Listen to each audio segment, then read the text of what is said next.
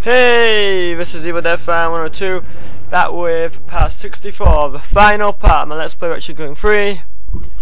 And this part, I'm just to basically show you a bunch of extra stuff, and I don't know. So first of all, I'm, sh I'm showing you right now all the trophies I got. So these are every trophy in the game um, that I managed to get in my Let's Play. There was only three trophies I didn't receive, and the three of them were the spaces there. One skill points, one is to do with getting a weapon, mega versions of weapons and challenge mode. And then the other one is to get 200 health, which is also challenge mode. Now I'm going to show you is all the skins. To get to unlock every skin you have to get every titanium bolt, which I did. And then you can be any of the skins from Snowman to Tuxedo Ratchet, which I'm showing you right now. Then there's also Buganoid, which is like some I don't know, weird green bug thing. um, and then there's Brainius, which is I don't know. So it, like, it looks like some kind of robotic thing. Kind of like a small version of what B2 Brawl was from Metroid 2.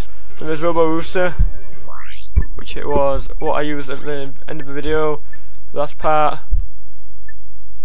Then there's also a trooper, which is, looks like an enemy from Ratchet 3. That's pretty pretty cool how you can like, be a little version of one of the enemies. And then I think it's there's one more. Yeah, there's one last one left. Robo. So yeah, there are all the skins, and I've shown you the trophies. So now I'm um,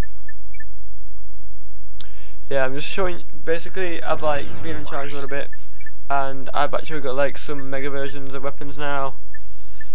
But um okay this is where for some reason I take all the cheats off. Just to put them back on again but you'll see that in a sec. Um, so this is yeah the final part of Regiment 3 uh, Gladiator will begin 2012 as early as I can probably between I don't know first and 4th or 5th of January 2012.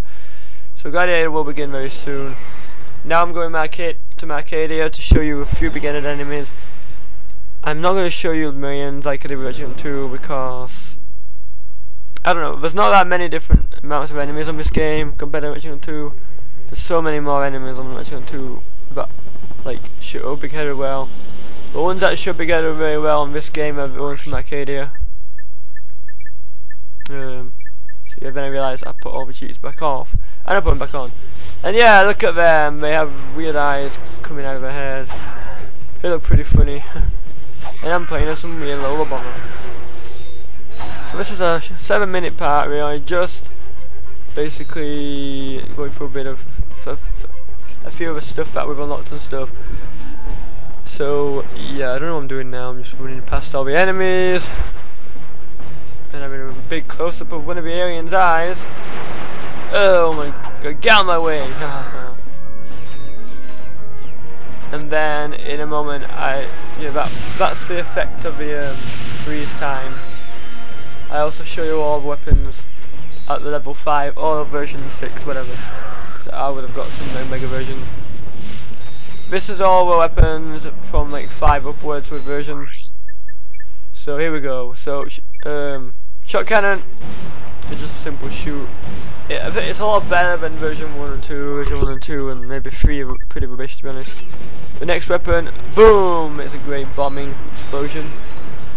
That is a, that is a pretty good weapon, I use it a lot in my let's play. N6, N6 Hurricane, or is it N90 Hurricane?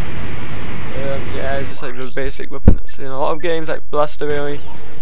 The whip is very good at version 5 onwards. Um, Infector Bomb is pretty good as well, version 5. I'd say all weapons are in their own way are good at version 5. Suck Cannon! Version 5. That didn't really show anything, but you get the point. Um, Tempest, we kind of already knew what that was from like middle Let's Play. Because that got to version 5 pretty early. Glove of Doom, or whatever it's called, version 5. It's pretty good as well. Sniper rifle. shoots long range. And I just killed that little tiny enemy, portal enemy. Um, Decimator, which was Annihilator, is also pretty good. I mean, version 5, a lot of weapons are really good. But as you saw in my last two parts, I defeated the boss so easy. And there's one amazing weapon. Version 5 of this Ultra Shield thing, um, it shoots enemies for you, I think. A multi-disc gun, also that's been in version 5 for like ages, so we've kind of figured out what that is. It's just a really good version of a disc.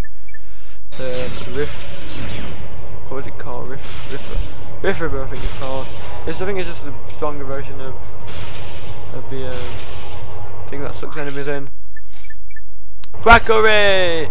Uh, yeah, okay, I had to show this with an enemy because you can't really see its full potential by just sending out. Okay, if you if you turn an enemy into a duck thing, it'll become this big bird, and it'll I think it shoots off bombs or something at enemies. So it, it does become pretty very cool. Megaturret glove really just looks like a gun that probably just shoots more than usual. Not much difference with um, that weapon. And the whip, even the whip look, not the whip, um, the um, lava gun, even the lava gun looks very cool. Division 5. Tesla barrier is a sh shield anyway. Every bouncer, which is a bouncer basically, is a big version of it that does a lot of, um, of them that do a lot of attack. Which is also very useful. And the amazing, most special one is Plasma Coil. Which is at version 8. So you can see the full potential of Plasma Coil. Maybe the best weapon minus Rhino on the game. I, I really really like Plasma Coil in this game. Anyway, that's it for Ratchet Clank 3! Let's Play is complete at 64 parts. Thank you for watching, I hope you enjoy this Let's Play. Next one will be Ratchet Gladiator. Remember, I'm not doing all the skill points, I'm just going basic run through. So from now on, it'll be Infamous time, and I'll be uploading lots of Infamous regularly like I was doing Ratchet and 3. So, that's it for this. Um, hope you enjoy my Let's Play. Have a good night. Bye bye.